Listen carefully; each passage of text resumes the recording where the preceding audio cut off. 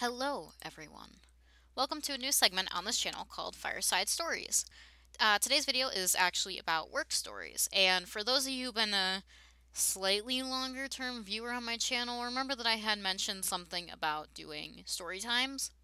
Uh, for now, you will be getting uh, speed draws about it, uh, or at least speed coloring. Sadly, you can't see the actual sketching or line art of this, but that's because my camera battery died.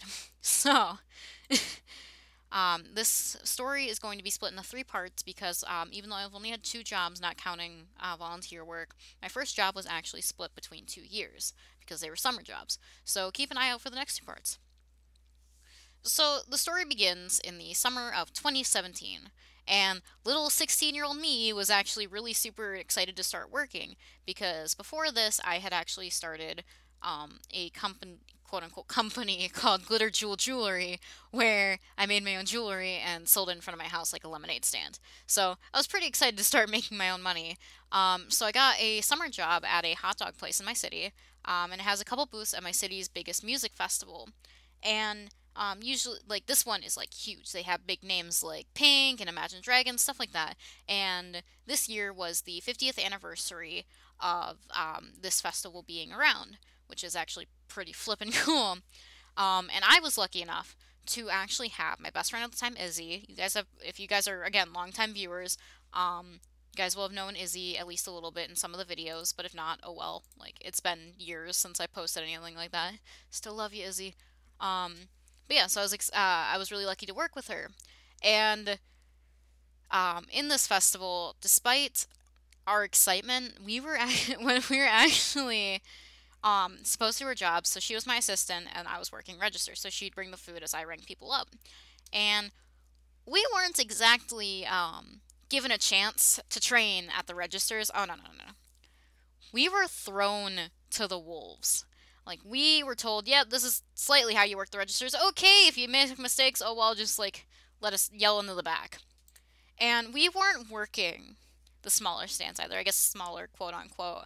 Um, we were working right smack dab in the lower amphitheater, which was where they housed the bigger names like Pink, Imagine Dragons, and all of them.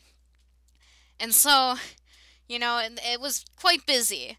Um, so day one was a lot of like us rushing around, getting used to the system. Eventually, we ended up finding our groove, and the first day, it downpoured. Like come like time for the concert right near the start, and it downpoured. So we're sitting here and we're like, all right, well now what do we do because we're just cleaning up. Like we don't really have anything to do. We don't have any customers because it's raining. And this one dude stumbles over. He's he's clearly inebriated. So he's he's not all there. And he started asking us for chicken uh, chicken nuggets. Nah, I cannot speak. Um so and next to us we actually had a Wendy's, but the Wendy's stand was closed at this point because it was past the intermission. So, you know, we're we're attempting to explain to him like, "Hey, we're not Wendy's, but this is what we have." And eventually, he ended up ordering a brat, you know, with sauerkraut, onions, and mustard on it, you know, the usual stuff, for those of you who know. Um, and so when he, like, I was the one ringing him up. So when he handed me the money, imagine, uh, imagine, like, there's this slug, this giant slug that's been sitting in your pocket, and you pull out this money, it's just covered in slime. It was so gross. And, ugh, it was, it, my guess, from what I could tell, it was probably beer probably got spilled on him. It was raining, so of course it's going to be a little gross. It happens to the best of us, I know. So, um, eventually, you know, I end up going washing my hands after giving him his change and everything, because you. And so they get him his food, and he goes to try and tip us. And for some reason, in his drunken state, he just he couldn't he couldn't find the opening to the tip jar, which is like a big hole right on the top of him. So, you know what his next best move was? You want to know? He threw the money through the cashier window. this is after, like, five of my other coworkers, including Izzy, are, like, trying to explain to him where the hole in the tip jar is. So, yeah, and that was just day one. So, um, this one's kind of a bit of a little iffier story, but um, sometime during the festival week later on, after we had gotten our groove, um, we had this guy come up and he kept insisting he'd have ice in his drink, and it was just a water bottle, um, because that's all we served on the grounds. And he kept insisting that his wife needed it, and the only ice we had was for our, you know, uh, coolers and stuff. And mind you, that's kind of a little, little iffy when you're sitting there and you're putting your hands in it a bunch of times. But yeah, so that's that. And he threatened my coworker and then escalated to threatening my manager and nearly jumping through the cashier window before security came. And all because he wanted freaking ice in his drink. Which is weird. Um, the fun part about um, this first year, though, um, was working the amphitheater, like of working the amphitheater, is that at some point uh, during one of the shows, or before the show even started, I was past the initial stage person, the elevator to the stage broke. And so, escorted by her entourage, you know, past our little tiny, like, hot dog stand type deal, was Pink herself. Legendary pop punk performer, Pink. And that, I think, was one of the coolest things. Though she didn't look at us, but I think it didn't help that all my coworkers were screaming. Like, being like, oh, yeah, Pink. But, you know, I can't, I can't blame them. You know, it's Pink. What do we expect? yeah. Um, one of the last few stories I remember, and it's a very tiny story, it's not one of the bigger ones uh, from my first year, is that we weren't allowed to give napkins to non paying customers because we only had a limited amount for the season, so we just weren't allowed to hand them out. And this couple comes up, asks for napkins. I'm like, sorry, like, it's our policy, you gotta pay for something, even if it's just a water.